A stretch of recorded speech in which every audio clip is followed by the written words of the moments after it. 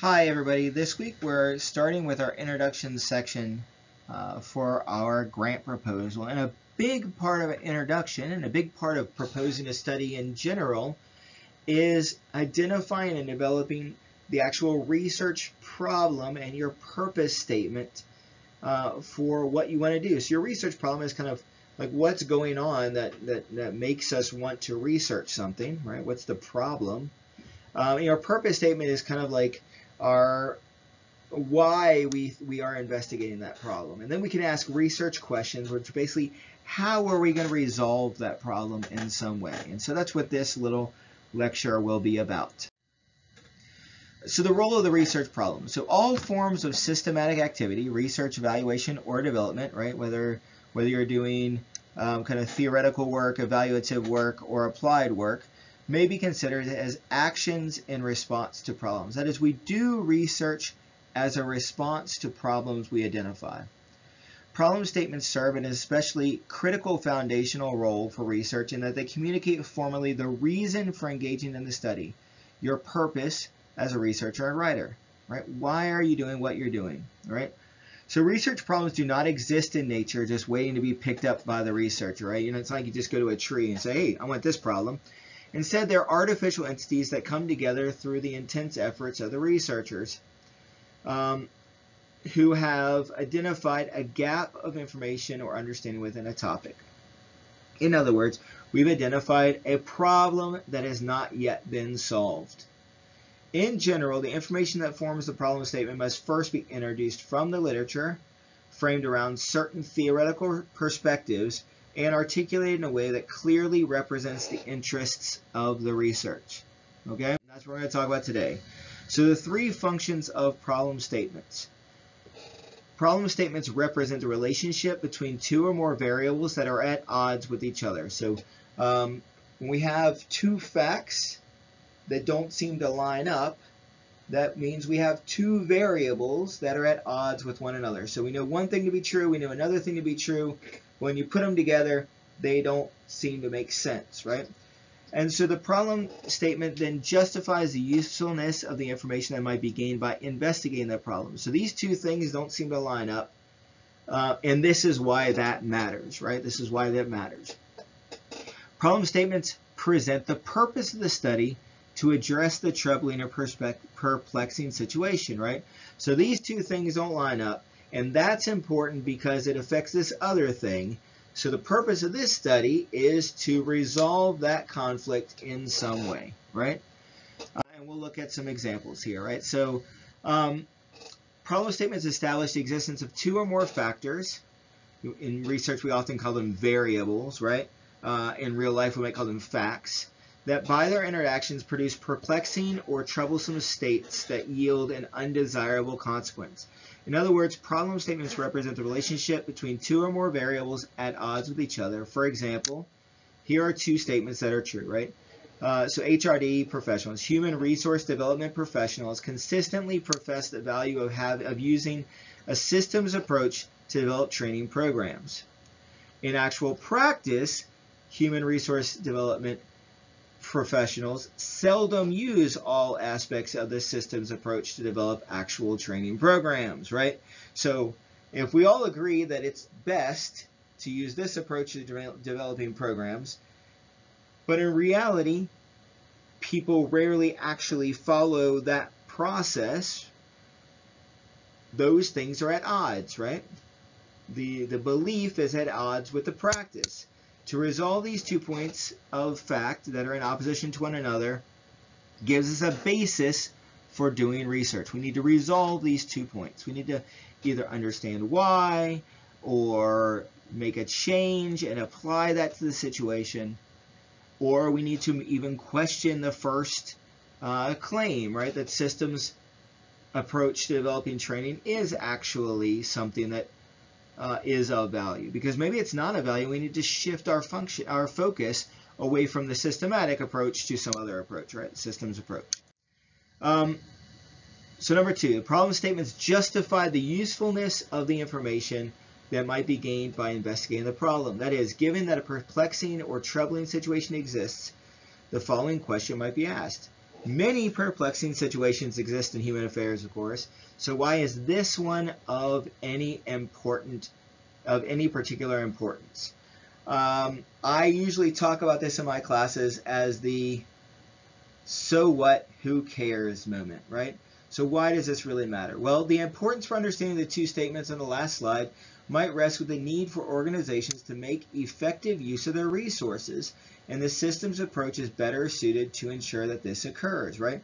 In other words, we all agree that it is the best way to do it, it's the most effective, um, and so we want to make sure that the money we're spending is used effectively.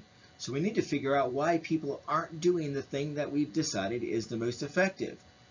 So based on this justification, understanding how these two statements could both be true helps us build the case why these opposing statements deserve attention. Problem statements present the purpose of the study to address the troubling or perplexing situation, that is, what the researcher has planned in response to the opposing factors. There is an element of subjectivity in the context of the literature in what factors precisely are used to frame the problem and what goals are set for the study. In other words, as a researcher, we choose what we want to research. That's subjective, right? We make a choice. We're interested in it. We also choose what we think might be the best solution for that issue or the best approach for tackling that issue. And that's our purpose, right? So the purpose of this study is to investigate what aspects of a systems approach to training development HRD professionals tend to ignore most often and why they do so. So the way I've set up this um, purpose statement then also kind of establishes my method, what I plan to actually do later in my study, right? So I'm gonna I'm gonna figure out two things, right? I'm gonna figure out what are the actual aspects of a system approach that people tend to ignore, right? And I might do that through something quantitative, right? That could be something I could just survey people and figure out. Um, I could also do it qualitatively. I could interview different people and talk about it, right? But at some point, I would have to interview them to answer my second part of that purpose statement, which is why they ignore those things, why they do so. Um, but of course, you can investigate this from lots of different ways, right? Different researchers will be interested in different aspects of different problems, and that's why there's so much research going on all the time, because our research often only partially solves problems or even identifies new problems, right, related to what we think we're working on. So how do we derive our problem statements? Well, researchers typically use something like the following process to derive problem statements. This is not meant to be interpreted as this is the only way it can work, right? This is just give you a kind of guidelines for how it might work. Obviously, you start identifying a topic of interest.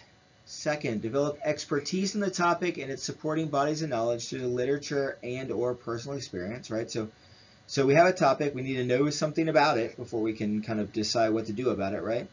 And then induce potential research problems through a process of continuously analyzing and synthesizing the information, right? So through our reading and through our experience, we probably will come across things that are two ideas or more than two ideas that don't seem to align and cause a potential problem. And that can be where, our, where we locate our problem for research. Confirm the relevance of a research problem through literature, discussion, and peer review. Um, right, so just because we think something is a problem uh, doesn't mean it hasn't been addressed elsewhere. So right, once you've just kind of decided on your problem, it gives you a more specific topic to go out and investigate and see what have other people done, right? And one of the ways is through the literature, right? Reading what's been published about it.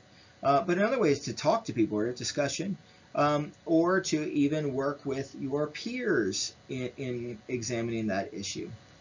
And finally, construct a formal problem statement to ensure the logic of the research problem and communicate the problem to others, right? So the, the reason we have a problem statement is because it allows you to kind of formulate your own research process, but it also helps you communicate what, what problem you're interested in, why it's interesting, and what you plan to do about it for your audience. So here's some ways to gain in-depth knowledge about a topic.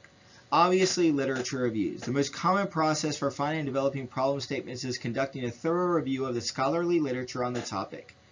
The review should reveal what research questions have already been asked, which of those questions have been resolved and which remain, remain open to further research, and what other questions might still need to be asked as new insights are gained. Personal experience. The old adage says that nothing can replace the value of personal experience. Indeed, the insights gained about a topic or situation when observing the phenomenon firsthand through professional practice can ground your research in the context of the problem. There is an entire um, approach to research built around relationships between researchers and practitioners, right? To bring that knowledge from a scholarly um, theoretical approach in direct contact with people who are actually in clinical and classroom experiences, right? Hooking up teachers with professors, for example, to work on K-12 issues. Um, there is no replacement for actual experience teaching and learning because a lot of things that in theory would make sense in practice don't work out. And a lot of things we do in practice when theorized can be better understood and modified to improve that practice, right? It's a reciprocal relationship um, between scholarship and personal experience in the classroom, right? Um, discussion with others. There is nothing wrong with carrying out conversations about a topic, your experience, and your research ideas with colleagues and peers. Indeed, encountering and addressing other perspectives can often lead to deeper and more meaningful research. If you've been a teacher, you have probably had those moments when somebody who uh, works with you, or maybe I works at another school, in a whole different environment, shares something that they do in their classroom and how it works with their students. And you can go back and bring that to your classroom and try it out. And you might find that it works really well, or you might find that, that, that fails miserably. And that is an area that can be a research problem. Why does this particular practice work in this situation and not in this situation, right? Um, discussion with others is invaluable. Uh, research agendas are um, established professionals and their research teams often follow a line of research around the same topic. That is, you do a whole bunch of research on the same kinds of ideas over and over again because you are you become experts in that area, right? So this focus and depth of research can often lead to new research problems, right? As you dig deeper into a single idea or a single approach or a single setting, um, you will continue to find additional problems to research.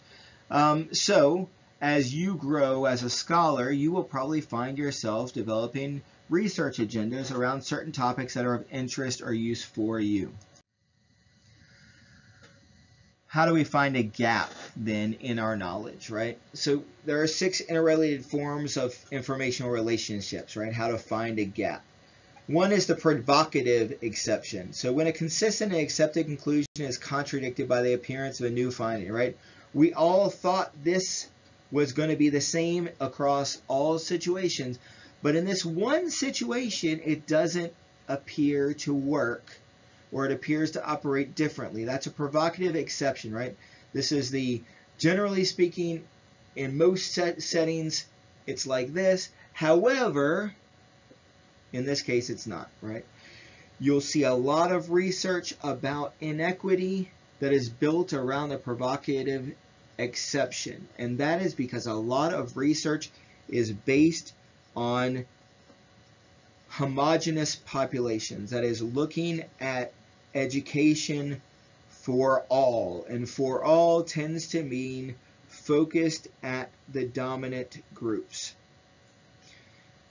And therefore, pushing other groups to the margins, right? So you hear about marginalized communities, um, and those are people who have not been part of this focus in research. And that research isn't always about education.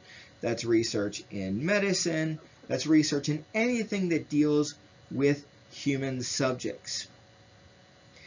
So as we start to investigate trends that we thought or practices that we thought were universal or could be generalized across different populations, we are finding that certain approaches work differently or don't work at all for other populations. In other words, there are exceptions to what we've always thought or believed, right? To these long held beliefs about education, for example. Uh, related to this is contradictory evidence, and that's when maybe there's a contemporary issue that a lot of people are writing and researching about, and they seem to be coming up with contradictory evidence, right? So we can get involved in that conversation and add our voice as one possible way of solving that problem, right? Um, so Common Core stand, state standards um, are applauded by some and are derided by others and for lots of different reasons on either side. And you can certainly look at the ways in which that evidence is contradictory and find your place in there to make your own argument. A knowledge void uh, seems unlikely, but sometimes there is limited or no research on a topic in the field. You may find yourself researching something and you're like, I can't find anything to really build from. A lot of times there are theoretical approaches that are common practice in other fields that you can apply to educational research. Um, that is one way you might find a, a, knowledge void. So you kind of have to work with the approach from this other set of literature and find kind of reasons and justifications for bringing that into educational research. Um, or you might have an altogether new question because the world around us is constantly changing, right? So there is probably a knowledge void, I don't know because I haven't done the research, around what to do when your school gets shut down in the middle of a semester because of something like COVID-19. Um, now there's a lot of research happening right now about that, right? Kind of what are what are school responses, what are student responses, what are parent responses, what are teacher responses, what uh, infrastructure is needed, what training is needed, what access is needed. All this research is happening now because there was a knowledge void created by a change in our circumstances, right? The action knowledge conflict is when individuals' professional behavior differs from their espoused behavior. So that's like that example that we looked at before, right? Uh, human resource development says we should use the systems approach. However, most people don't actually use that, right? So that creates a conflict we can investigate. A methodological conflict, when the use of one or another research methodology may help provide a source for a research problem. So it may we've always looked at this problem by looking only in the local context. So I've been interested in how African American students feel in my freshman writing classrooms. And to find that information, I've used a qualitative approach and I've interviewed a number of students. I've collected writing responses from a number of students to try to analyze and figure out this problem. Perhaps I will get different results if I shifted to a quantitative study of African American students across all the classes I've ever taught over the past 20 years in higher education. Imagine if I can send out a survey to all my former students, right, and I can collect now thousands of data points. That's probably going to give me a different um, idea about that information that I've collected in the past. In other words, applying a different methodology has allowed me to, approach the issue in a different way. Um, similar to that is the theoretical conflict, when the use of one or another theoretical model may help us may help provide a source for a research problem. So sometimes problems have been, been looked at through lots of different theoretical approaches. Sometimes problems have only been looked at through some or one theoretical approach how might looking at it from a different theoretical perspective, a different framework, allow you to understand that problem differently? That's what we're talking about. So in all these cases, what we're trying to do is to find ways in which we may look at that problem differently because other people have looked at it differently, right? Um, and what do we do about those discrepancies, those little problems that pop up when we do shift our focus or pay attention to those conflicts. And those are those gaps. When we talk about finding a gap for research, that's what they're talking about, right? What is the conversation around this topic, and how do I jump in there to add something new that hasn't already been done before?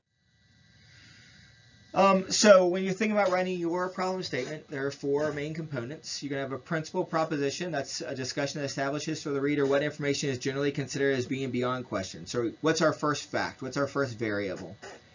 Our interacting proposition is the variable that conflicts with that, right? So a discussion that serves to contradict or show exceptions to or cast some degree of doubt on that principal proposition, right?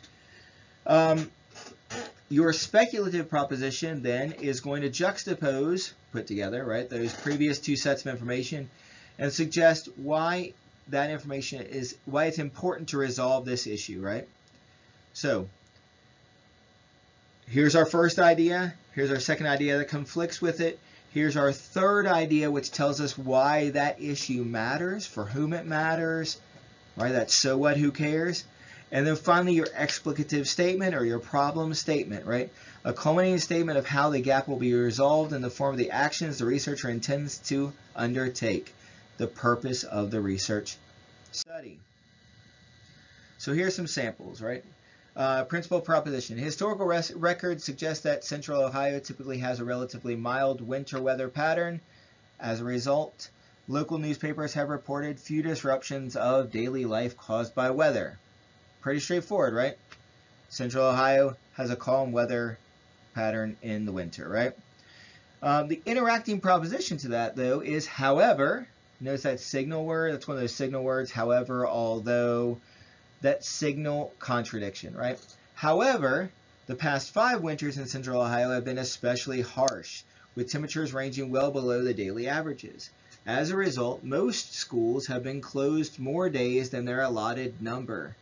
All right, so here we have our problem. Our problem is between these two contradicting statements. First, that typically Central Ohio has mild winter weather patterns. Contradicting that, however, is the most recent five winters, in which case we have had harsh weather. Our speculative proposition then, if Central Ohio has had relatively mild winters in the past based on historical information, and if the recent winter weather pattern suggests a new weather pattern, which may have detrimental effects on daily life, then more must be known about the most current weather, winter weather patterns of central Ohio, right? So, um, because of this, this, this uh, discrepancy, this contradiction we've seen between these two sets of data, right? Historically mild winters, new harsh winters, it can matter because it disrupts our daily life. So we need to understand it more, right? So first proposition, here's, here's what's been going on. Second proposition, the exception or contradiction. Third proposition, why that matters. Explicative statement, the purpose of this study is to investigate the recent winter weather pattern and its effect on daily life in central Ohio, right? This is what we are going to seek to understand in our study. Uh, it just a quick note on manuscript organization. It is good practice to develop your ideas through the syllogistic process of building from statements to conclusion. But when it comes time to revise your work for publication, you should follow the publication guidelines and rhetorical expectations in your organization. One common organization expectation is the front loading of your explicative statement. Something you've probably heard called the thesis, right? It is your, your purpose statement, right? Placing the statement toward the beginning helps the author to focus on what information to include in the manuscript and helps demarcate the explicit intent of the manuscript for the audience, right? Uh, so if you've taken an English class where they said, you know, end your first paragraph with your thesis statement, that's why, because they want you to have that thesis up front so people know what you're arguing. Um, in something like a proposal, that's not necessarily true because you'll have an abstract at the beginning that is going to clarify all of that for you. Uh, the next step, once you have your purpose statement, is your are your research questions. So the purpose of the study is further refined through research questions. You have two sets of questions. One is your central question. Your central central question mirrors the purpose statement in a question form.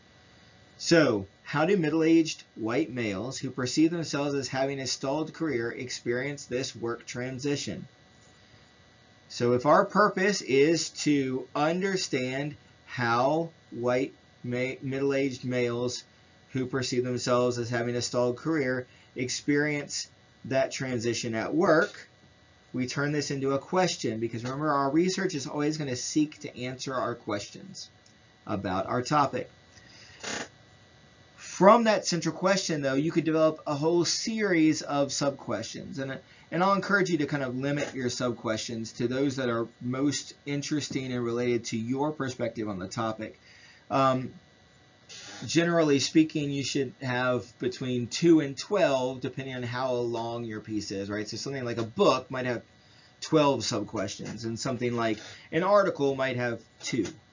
Um, so, you know, manage your expectations in that way but they should flow from the central question and represent aspects of that question. So you might ask, what is the influence of the perception of a stalled career on productivity?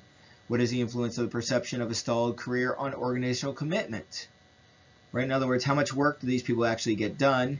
And how committed are they to the organization if they feel like their experience at work has stalled out, right? And what is the impact of, on, of these workers on the workplace power dynamic? So then uh, how do those workers who feel like their careers have stalled make other people in the organization feel, right? That's a different kind of question. And there are many, many more, right? These are just three examples. So when you think about the introduction section for your paper or your proposal, what you're thinking about is how are you going to set the stage for the study that you have conducted or you want to conduct so your audience can understand what you're doing and why you're doing it, right? Which will lead in your methods, which is how you did it, okay? But in your introduction, you're talking about two parts, research problem and your review or framework. Um, research problem starts with the background to the problem. What is the problem? Uh, what do we need to know for it to make sense? What's the context? Um, problem statement and purpose, right? What are the contradictions? Why is it important? And what are you going to do about it? And then research questions. What is this study going to actually seek to answer? This is followed then by your literature review, which oftentimes includes some kind of discussion of theoretical framework.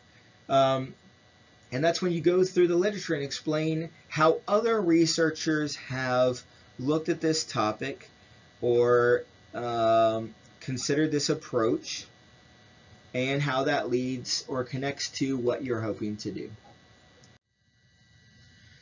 So your background. The research problem opens with a background to a problem written in one, say one to three paragraphs for, uh, you know, something like a proposal or an article that situates the study in a broader context. For example, historical, national, or international, right? What is the issue and, and, and where do we see it? Who does it relate to? Um, it should hook the reader, provoking interest and making the study relevant or important to the reader. And it often starts with a researcher's narrative or experiences or a story, right? So it's a great, great way to kind of kick this off and get people involved in your topic is to kind of share your own experience, tell your own story, a little narrative um, to kick things off. You could talk about somebody who was affected by this issue. You could talk about how this issue impacted your experience uh, so on and so forth. Um, then you work towards your problem statement and purpose. So the background is followed by one to three paragraphs that formulate the actual problem statement. So what we just walked through in this lecture, which illuminates the phenomenon, what happened, uh, concept, issue, or dilemma that needs to be investigated. In other words, what's the problem you're looking at? Why does it matter? And what are you going to do about it? The problem statement identifies a gap in the knowledge about an issue or phenomenon.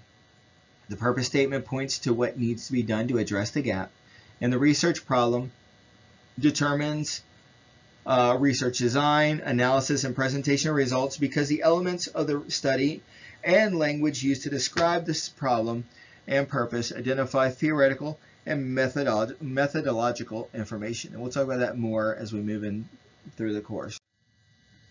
The research questions may be provided in paragraph form or in a list.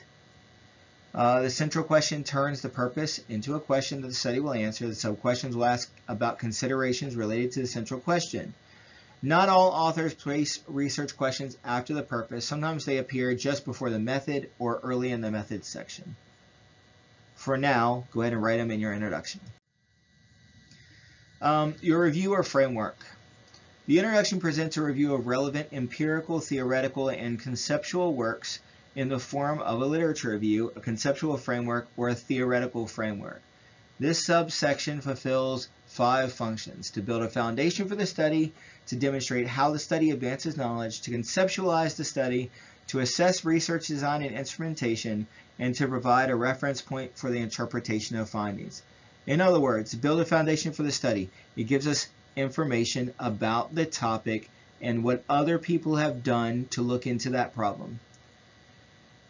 Related to that, it demonstrates how the study advances knowledge because your purpose statement says basically what your, your study is going to resolve about that problem that hasn't been resolved yet. In other words, here's the problem, here's what other people have done, and this is how this study is different and advances that knowledge, adds to that knowledge. To actually conceptualize the study. So uh, when you're thinking about like how you want to do the study, what approach you want to take, it's helpful to see what other people have done. Do you want to do something similar to what they've done? Do you want to take a different approach to what they've done because you think it's going to yield different results? In other words, it's going to help you understanding more about what's already been done about this problem is going to help you think more deeply about your own problem and your own approach to that problem. To assess research design and instrumentation related to that, right? So how have other studies approached this problem and what have they actually done what instruments have they used? Have they used a standard survey that you can employ in a different way? Have they only looked at it quantif quantitatively and you want to look at qualitatively? Um, have they done interviews? Have they looked at written documents? And right, so looking at all this, different ways people have investigated this problem can help you think about how you are going to investigate this problem. And provide a reference point for the interpretation of the findings. In other words, if a bunch of different people have approached this topic and found a bunch of different findings that seem to conflict with one another, um, can you, from looking at that, that previously published information, um, manage your expectation of what you think your findings will suggest, right? Uh, will you fall on one side or the other? Will you fall somewhere in the middle? Um, do you think all these things that you can garner from understanding how other people have looked at the issue or problem. Of course, if you have any questions, send me an email. I'm always here to help. Thanks.